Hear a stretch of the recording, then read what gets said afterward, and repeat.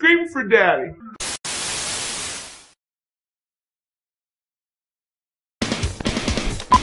Sloppy noise. Can't understand the words. I want to say Paul McCartney called us shit knot. I don't know, because I don't really fucking care. Non-technical, garbage, shit, stinks, horrible. I like to know exactly what shit sounds like. If this is the future of rock and roll music, then I don't want to be a part of it anymore. The drums are totally lacking. Dude, there's a whole Facebook page. It's Christians against Slipknot. I think it's the funniest thing I've ever seen in my crap life, man. You read a better record and then go do it and then talk to me. You know, have fun at work on Monday.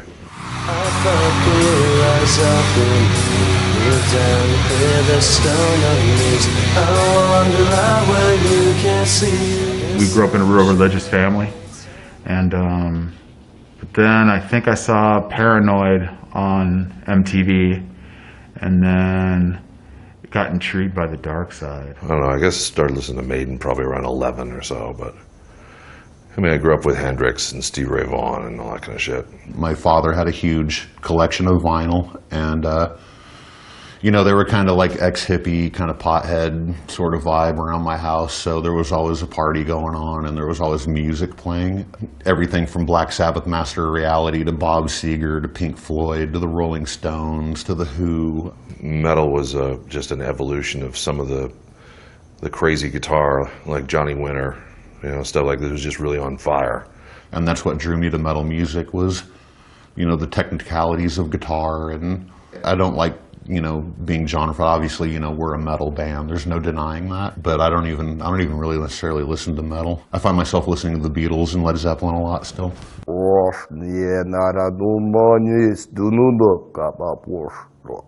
When Slipknot was first put together, I can remember going, this is fantastic. It was a collage, it was a combo, it was an amalgam of all of these different styles. Slipknot basically just kind of took everything and shredded it up and made it what they wanted. And I loved the freedom of that. And I was at their very first live show as Slipknot, and I was front row, and uh, it was so insane that I remembered saying to myself, and I'd never done this before, I was like, I'm going to sing for this band someday.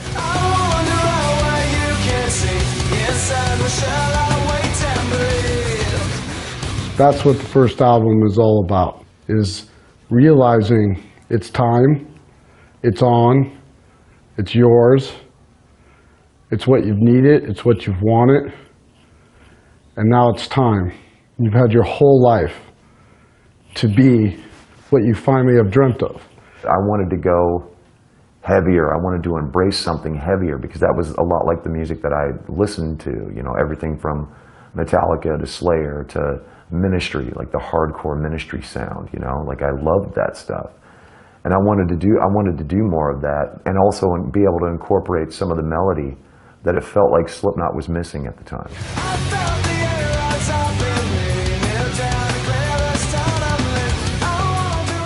Ross Robinson got a tape of um, the band, and as soon as he heard it, he was like, "I want to work with these guys." So he he was going to front his own money to do this band. You know, that's how much he believed in it and how much he saw the potential. ross was a great producer to have for a band that never worked with a producer before because he is very involved with what you do We didn't know what the hell we're doing. You know, we didn't know music business. Yeah, most of us never left the state before, so So working with him was great though because he was uh, nuts, crazy, fun, and uh, you know, always made you feel good to be there.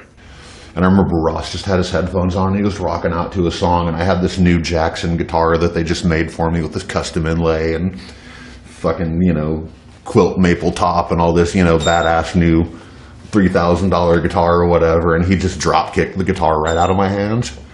And that's sort of his mentality. I mean, it's not about anything material or anything physical. It's about the energy that you create. Ross's greatest asset was understanding how this band needed to be and how intense it was and how how many moving parts there were inside the band. Ross loved working with analog, and I don't know. I'm glad we did it. Like it's a whole different kind of mindset when you're in a studio. You could play your amp in this room and it sounds like whatever, but then try to translate that through a microphone onto the tape. Like it, there's so much to that aspect of it, which I it's challenging and it's fun. We were all in my old apartment on uh, 28th Street in Des Moines when we first got the the rough mixes, basically. And I can remember we were we were just blown away.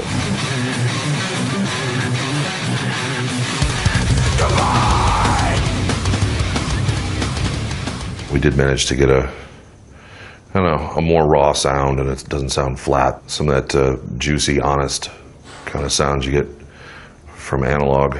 There was such a frenetic energy there that it was it was almost like an unleashing. He was able to keep that intensity during the recording of each person and just kept that angst, you know, that, you know, pretty much sent us off, you know, on the road, um, just ready to kill, ready to take over the world.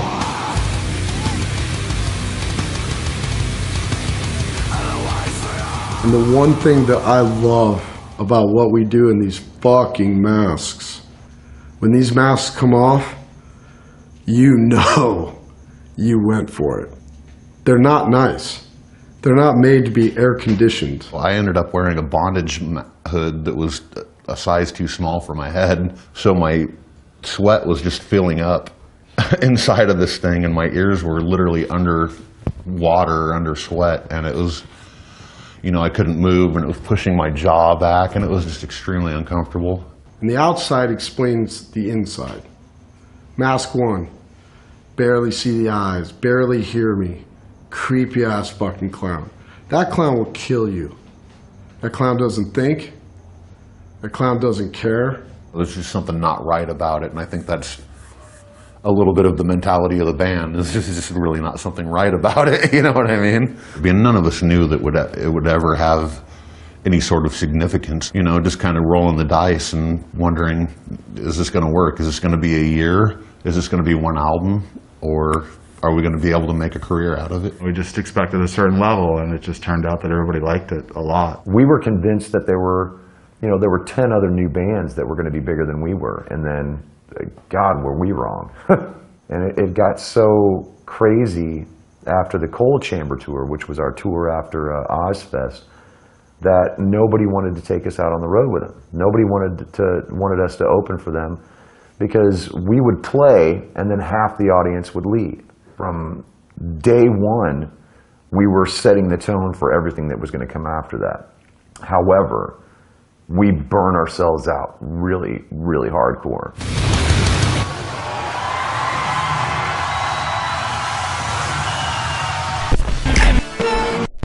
By the time we went into Iowa, we had the mindset of, oh God, I just need five seconds to, to breathe. It's not so easy to, to throw a bunch of people into a room after you had, say, five years to put your first record together and having songs that didn't quite make it because they weren't quite good. And now you're thrown into a room and you go, okay, write lots of songs and make them all be great. I've always complained that it's like you can't tell a fucking artist, now walk in a room, there's some paints and shit, now paint me a picture. I mean, like, who says I want to? literally like a day or two after we got off the road from the first album cycle, you know, Paul was calling me up saying, "Hey Jim, you know, it's time for us to start writing the next record. We're going to go for it." And I was like, "Wow, really that quick?" Everyone is in a different place. We've been around the world and back. Never thought we were getting off the road, and boom, got to write a second record. We were going to take a little more time. We talked about taking a little more time, but I don't know, pressure being what it is. We uh, decided we didn't want to be away too long, and And I think it's important to not forget where you came from as a band, you know, but not to put out the same record over and over again. we didn't want to do the typical follow up where everything's watered down, everything's very commercial. A lot of record label people wanted a lot, you know, more radio friendly stuff. So that's when we decided to make the Iowa record and go absolutely the opposite way of what everybody was expecting from us. We were like, screw all that. We're going to do what we want to do, which is to take everything that we had done on the first album and turn it up to a thousand as far as the darkness goes, the heaviness goes, the, the sonics and the, the visceral, just disgusting feeling that we touched on on the first album, but we really embraced it on Iowa. To this day, it's still one of the heaviest records, you know. Left Behind was made of uh, an older song. I, I can remember I'd, when I when I first did it, it was much more melodic than it became. And uh, Ross was like, "Uh, no, no, no, no, no, you're trying too hard. Let's get a little more guttural and put a lot more emphasis on it, and just make it a, a smack in the mouth."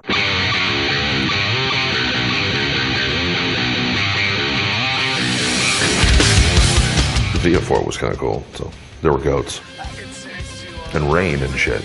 Yeah, rain and goats and like hail even. Like, what the fuck do you want?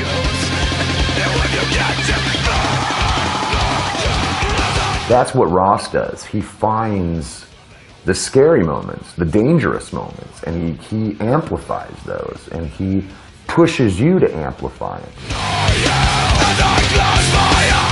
I can remember I was, I was recording uh, this the title track, Iowa, and he was like, "I want you to go somewhere that you wouldn't necessarily have gone before. I want you to take yourself to a place that you're scared to go to, that you've never allowed yourself to go to. So I stripped naked and walked out to the middle of the of the of the the big room at Sound City, and I did that song in two takes, and that was it. It was probably one of the craziest experiences I've ever had. I cut myself up. I threw up all over myself. It was, uh, and you could feel that on the album. Like it's such a disturbing moment.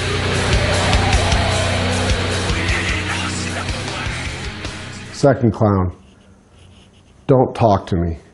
Not available. Not welcome. Get the fuck out of here. Look at my face. I don't want to talk to you. I don't want you around. I have nothing to say. This is how the world feels. I'm part of the world. Deal with it. Not a good clown, for sure. That clown was asked to never come back, actually, by certain people.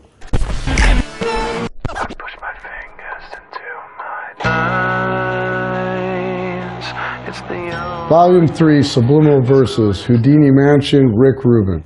That's a lot right there. Gosh, that one was a blur, dude. That one was a blur. Volume three is actually it's really hard for me to talk about um, because that was that was the album I got sober on. And one day I kind of woke up and I was just like, man, I'm this, this isn't good. I, I need to figure it out or I'm going to die.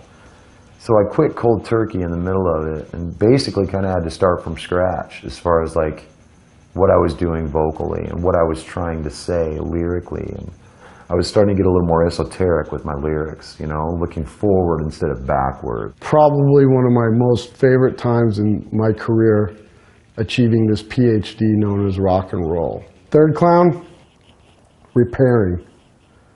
Repair from those two previous things. Those are animals. Third guy, coming back to life, few more ideas, some different shit, some healing, a few more dances, a few more colors, a lot more saturation, chill a little bit, but still that guy. Those kinds of things all went into the process of making the record.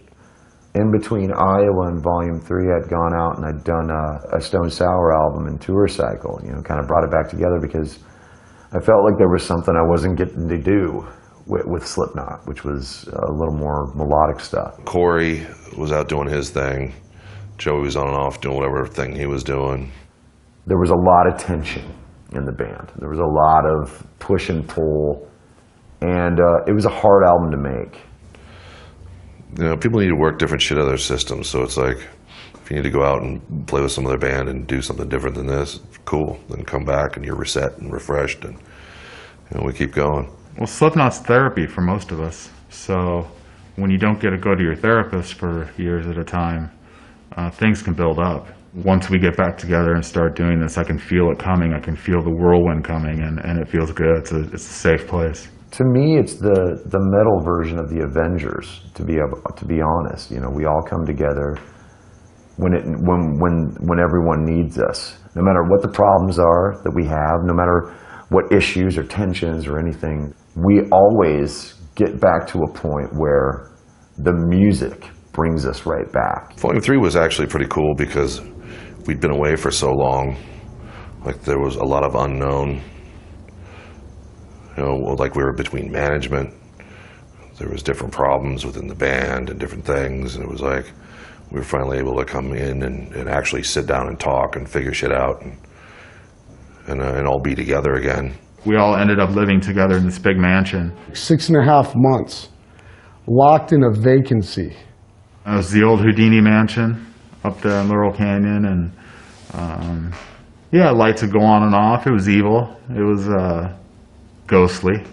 When I moved into the Houdini mansion, I had just gotten a mortgage. You know, I had a car payment, and I had no money.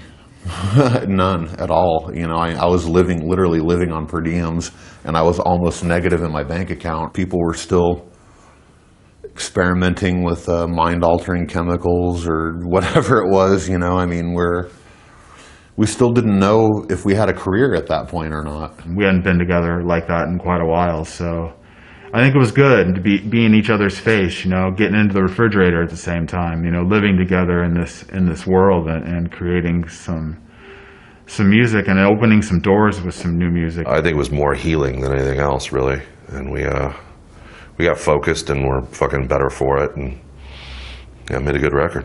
It felt really good. We were able to be really creative, and I think that's the first time our music started to to kind of evolve, and we started to show another side of the band. It was a big deal to work with Rick Rubin. He still understands the band beginning to end, and he always will.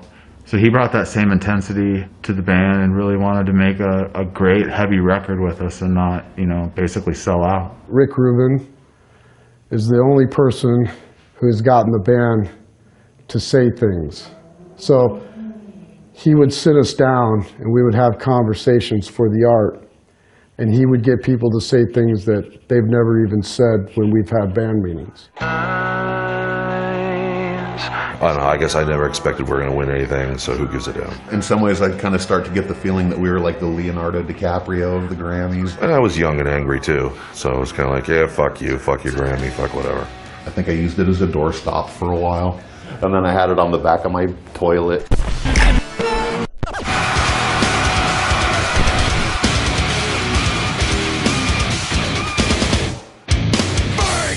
Floor clown, debauchery. I invent the evilest thing I possibly can put on my face. Constructed of leather, cop shades, a chrome Ming the Merciless hat, put it all together, can't see shit, can't breathe, can't, can't feel, can't do anything. Very painful. That was a personal pain. I lost my dad the album before and my mom the album before. And that's how I felt. I didn't want to talk. I didn't want to do interviews. I just wanted to be in my own world and be reminded. All Hope Is Gone was a, that was different. That was very different. That was probably the most disconnected and separated I've felt doing a record.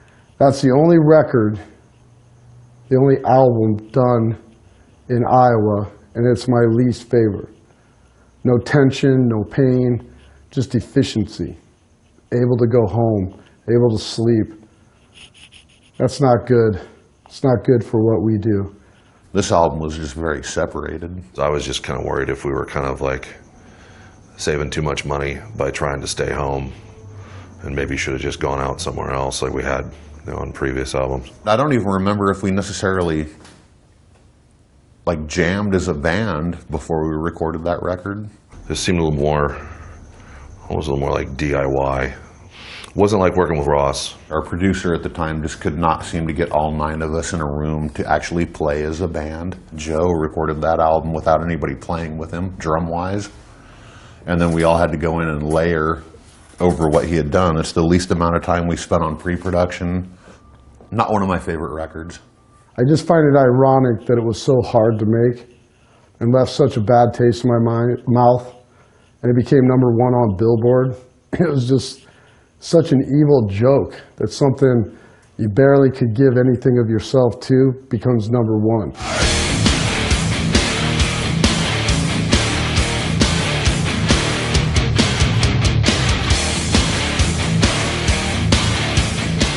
If you have a negative bent, you're going to use that as an excuse to do terrible things. If you're fucked in the head, you're fucked in the head, and you're going to take it from wherever you take it from. But I listen to the most extreme gore, horror stuff, and I've never, for a split second, thought of actually doing any of that. Metal music has helped me so much not do things that that are bad or you know things that you know a, a teenage kid with angst or you know even in my 20s you know it's uh it was a great outlet for me to let some aggression go relax you know get that out of my system and go to bed so you know i owe a lot to music and especially to metal music If you have a positive bent, you're going to use it to try and change the world. I can lose myself in a guitar and some recording equipment, and to me, that's a, a better way to lose myself than sort of, I guess, drinking my troubles away and forgetting about it for a night. Because you know, it's still going to be there. At least, uh, at least if my problems are still there after putting an arrangement together of music, at least I've something to show for it, other than a hangover and bad breath. I guess I don't know. I help kids let go of some of the pain that they're holding on to. And if I get one kid to do something great with their life, then so be it. As we started doing photos, I took my photos in this abandoned school. Just outside the hallway, there's a sign that said, All hope is gone. Members of the band, you know, mainly Corey, I remember, saying that would be a great song title and probably even better album title. I hated it. I'm as Slipknot as you can be, and we're pretty known for being against, but I'll tell you, even though I hate, even though life is hard, and I use pain as a paintbrush, there's always hope. I was confused with that until Paul died. Then it made sense. That's painful shit to have a foreshadowing like that. After that lesson, when I get vibes like that for things, all it does is remind me it could be a foreshadowing, and that's fucking scary. The fifth record, most beautiful epiphany.